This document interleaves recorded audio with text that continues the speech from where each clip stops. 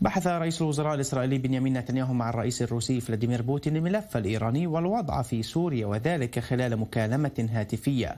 وقال ديوان رئيس الحكومة الإسرائيلي إنهما بحثا أيضا ما وصفها بالاحتياجات الأمنية لإسرائيل واستمرار منع الاحتكاك بين الجيش الإسرائيلي والقوات الروسية على الأراضي السورية. وعلى صعيد متصل اجتمع وزير الخارجية الإسرائيلي إسرائيل كاتس مع نظيره الروسي سيرجي لافروف في روما وبحثا التحديات المشتركة في المنطقة. إضافة إلى الملفين السوري والإيراني